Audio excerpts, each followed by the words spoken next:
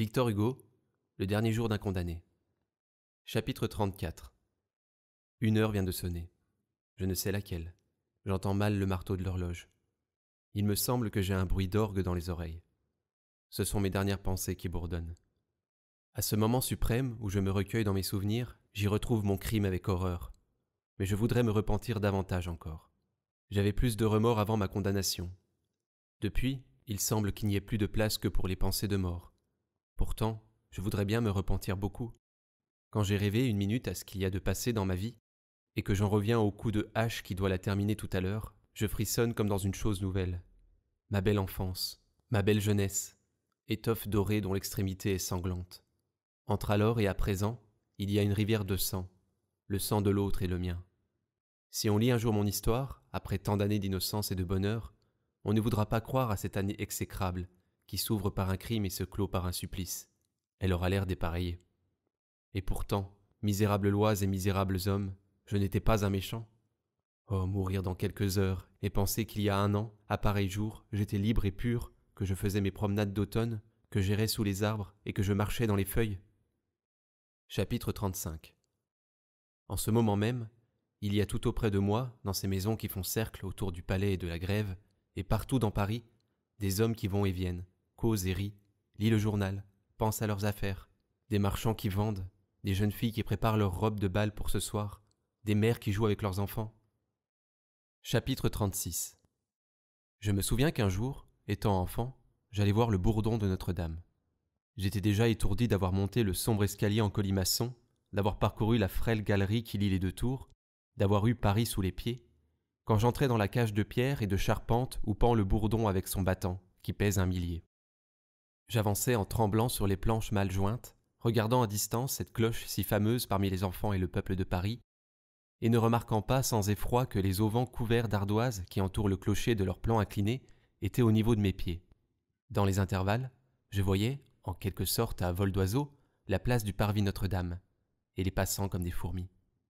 Tout à coup, l'énorme cloche tinta. Une vibration profonde remua l'air, fit osciller la lourde tour. Le plancher sautait sur les poutres. Le bruit faillit me renverser. Je chancelais, prêt à tomber, prêt à glisser sur les auvents d'ardoise en pente. De terreur, je me couchai sur les planches, les serrant étroitement de mes deux bras, sans parole, sans haleine, avec ce formidable tintement dans les oreilles.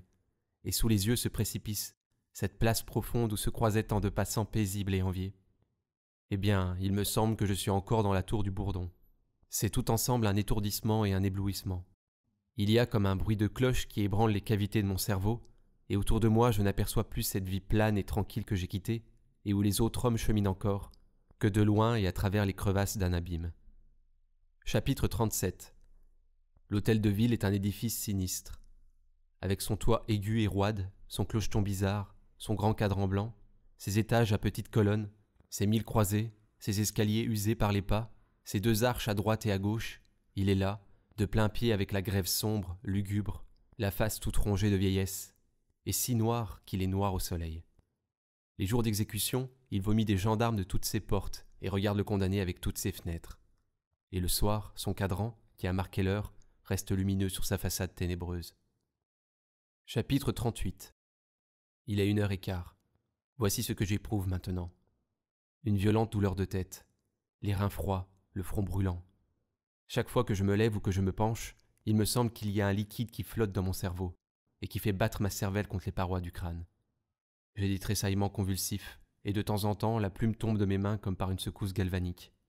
Les yeux me cuisent comme si j'étais dans la fumée. J'ai mal dans les coudes. Encore deux heures et quarante-cinq minutes, et je serai guéri. Chapitre 39 Ils disent que ce n'est rien, qu'on ne souffre pas, que c'est une fin douce, que la mort de cette façon est bien simplifiée. Et qu'est-ce donc que cette agonie de six semaines et ce râle de tout un jour? Qu'est-ce que les angoisses de cette journée irréparable, qui s'écoule si lentement et si vite? Qu'est-ce que cette échelle de torture qui aboutit à l'échafaud? Apparemment, ce n'est pas la souffrir. Ne sont-ce pas les mêmes convulsions, que le sang s'épuise goutte à goutte ou que l'intelligence s'éteigne pensée à pensée? Et puis, on ne souffre pas. En sont-ils sûrs? Qui le leur a dit? Compte-t-on que jamais une tête coupée se soit dressée sanglante au bord du panier et qu'elle ait crié au peuple Cela ne fait pas mal! Y a-t-il des morts de leur façon qui soient venus les remercier et leur dire C'est bien inventé. Tenez-vous-en là, la mécanique est bonne. Est-ce Robespierre? Est-ce Louis XVI Non, rien.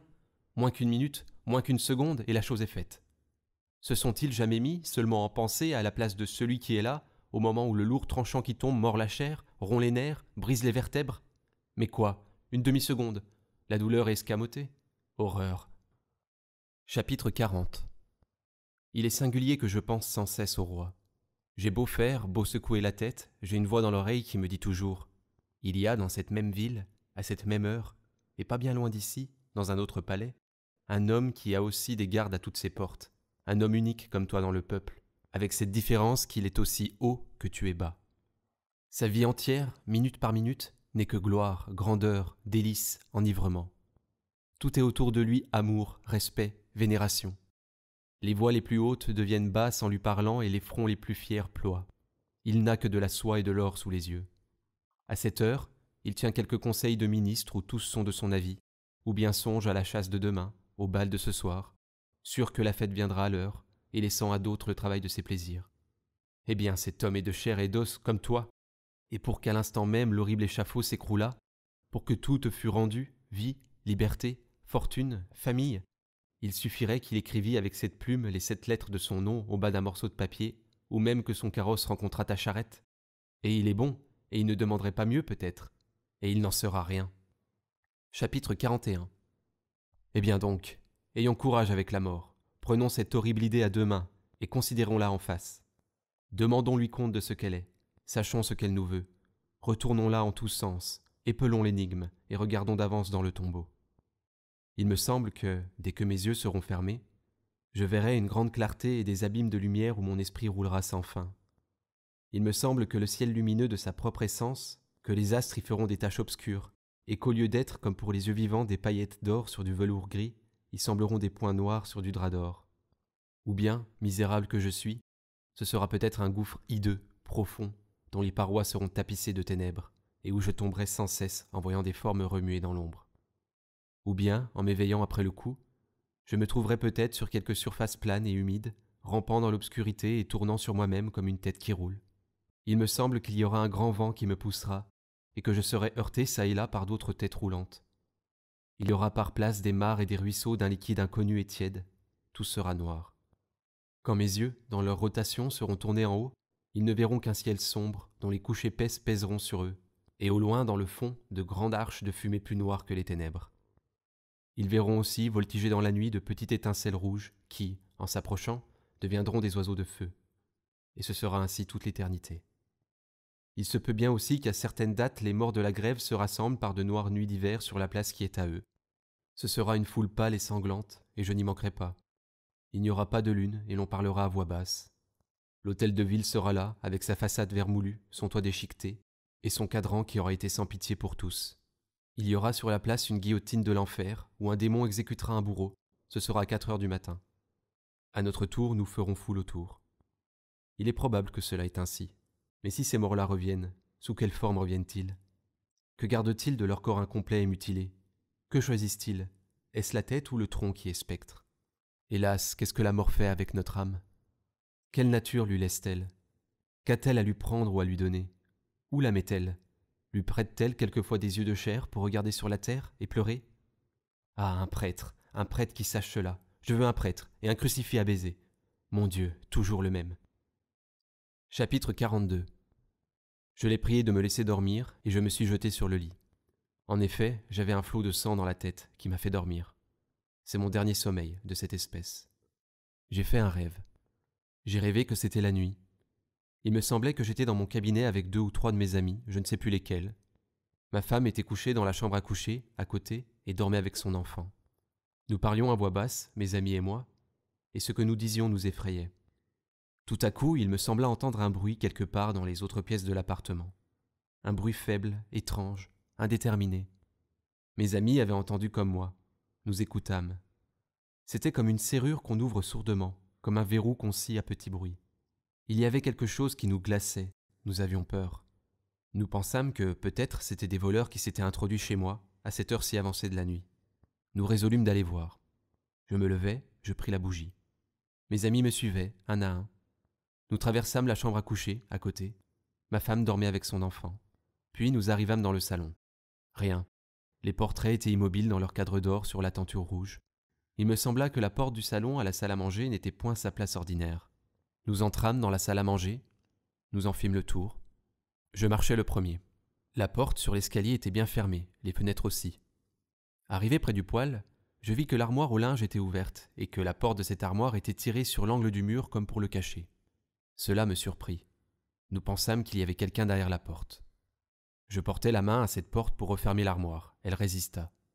Étonné, je tirai plus fort. Elle céda brusquement, et nous découvrit une petite vieille, les mains pendantes, les yeux fermés, immobile, debout, et comme collée dans l'angle du mur. Cela avait quelque chose de hideux, et mes cheveux se dressèrent d'y penser. Je demandai à la vieille. Que faites-vous là? Elle ne répondit pas. Je lui demandai. Qui êtes-vous?